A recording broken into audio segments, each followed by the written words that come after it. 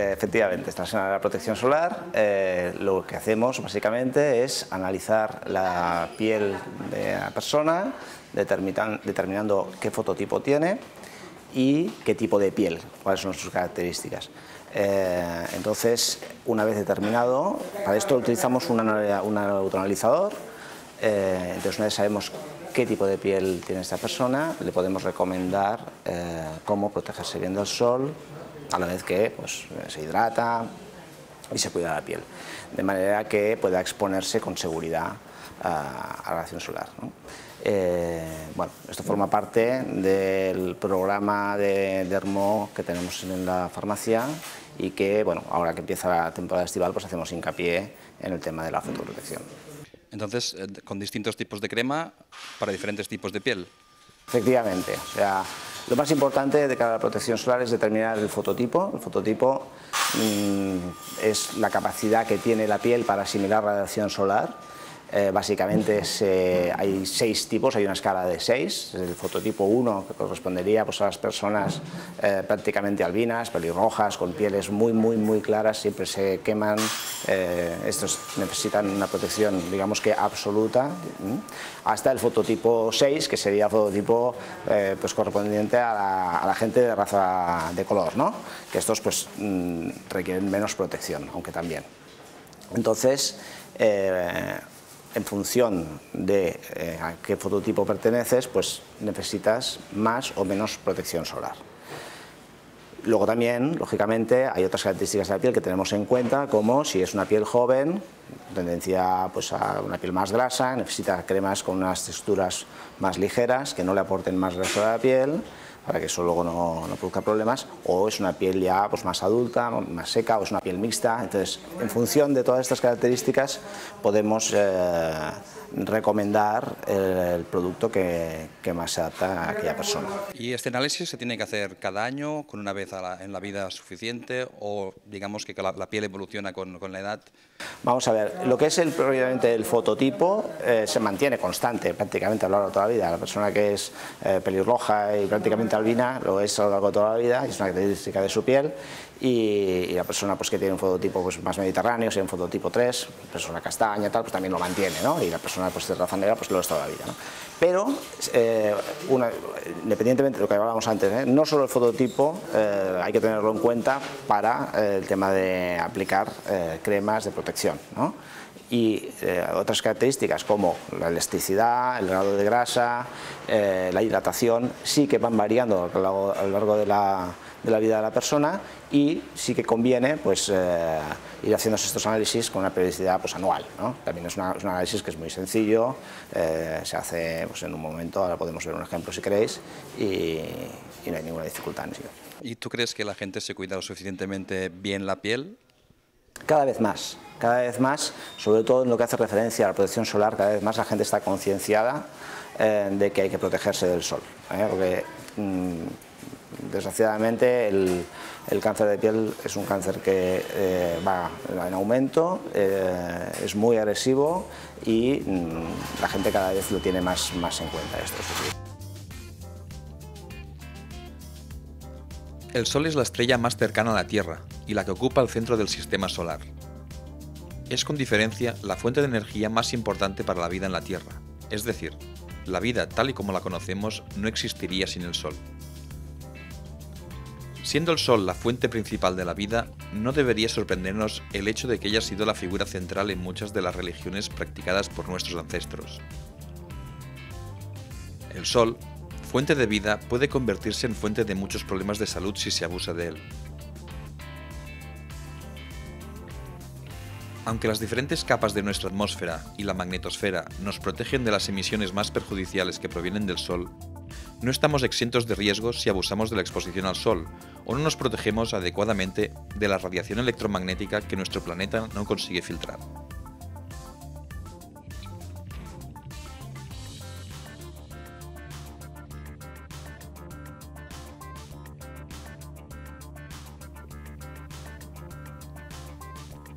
De entre la radiación electromagnética que la Tierra no consigue parar, debemos prestar especial atención a la radiación ultravioleta, la llamamos ultravioleta porque el violeta es el color visible con longitud de onda más corta, es decir, es el color visible más energético, y el de la radiación ultravioleta es todavía más corta, o sea, más energética.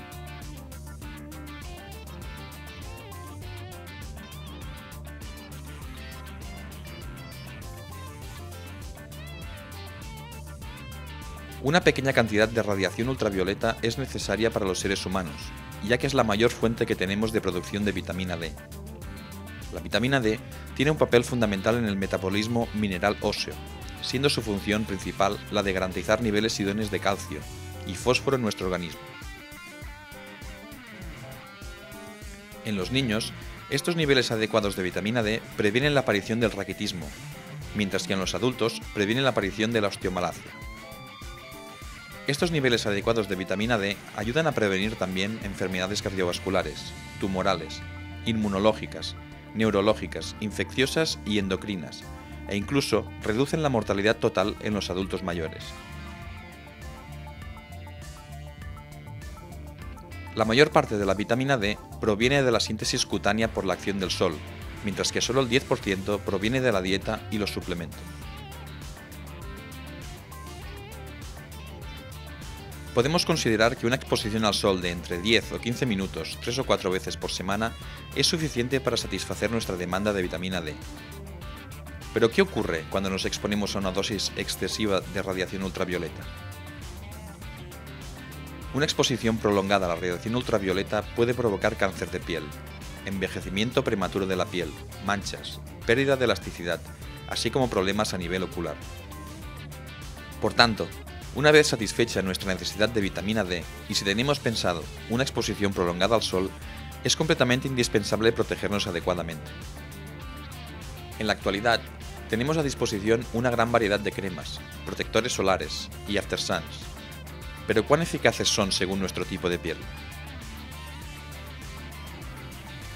Os voy a explicar un poquito, eh, tal como ha explicado Fernando, cómo funciona un poquito la máquina. La máquina que utilizamos para, además del tema de la protección solar, eh, analizar otros parámetros de, la piel, aquí en la farmacia por el tema de dermo. ¿vale?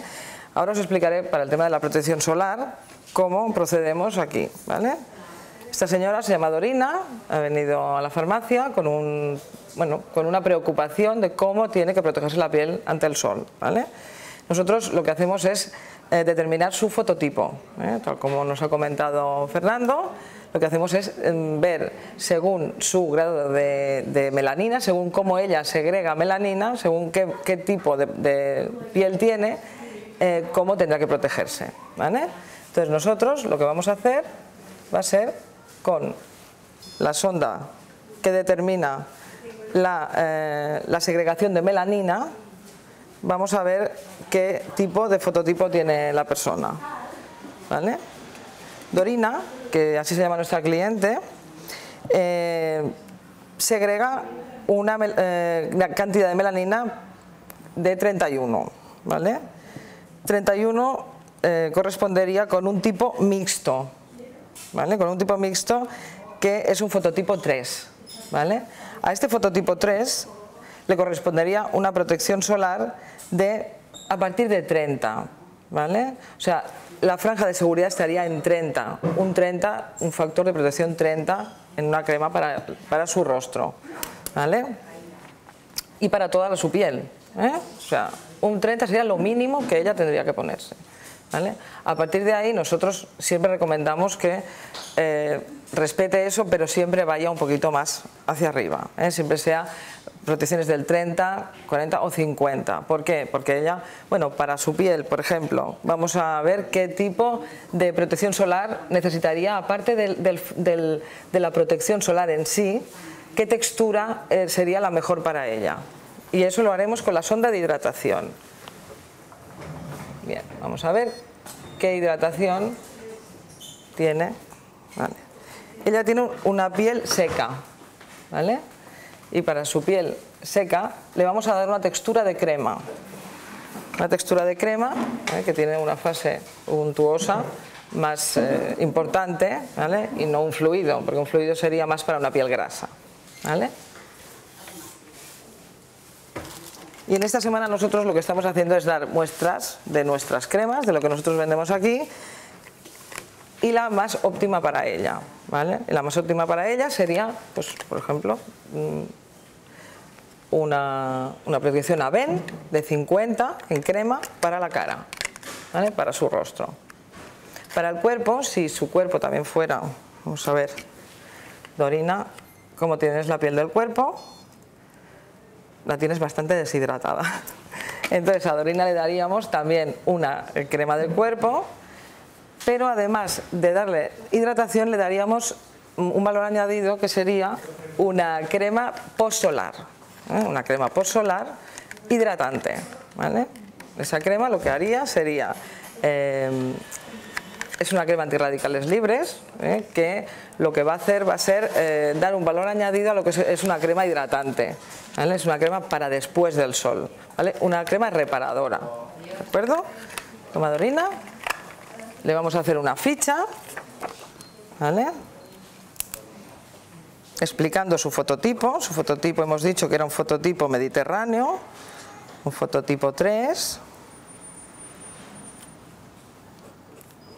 que ella debe protegerse con cremas a partir de un 30, de un 30 de protección solar, pero que mejor que utilice el 50. ¿Por qué? Pues para no mancharse, ¿vale? Para que su piel permanezca joven durante más tiempo, ¿vale? Pero en ella está la elección. ¿eh? A partir del 30, SPF. ¿Y esta, eh, este análisis también puede servir para las cremas del día a día? Sí, claro, claro. Este análisis sirve para determinar la hidratación, el tipo de piel que tienes, si tu piel es seca, mixta o grasa, y también puedes ver el grado de elasticidad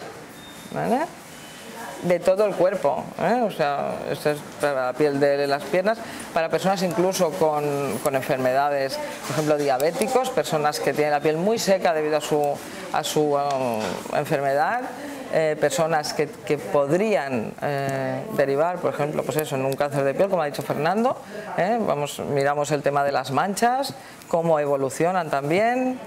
Mm. Con lo cual recomiendas que se hagan estos análisis. Evidentemente, para poder vender con más seguridad y para poder no solamente que las personas, me voy a comprar una crema y ya está, sino que esa venta sea eficaz.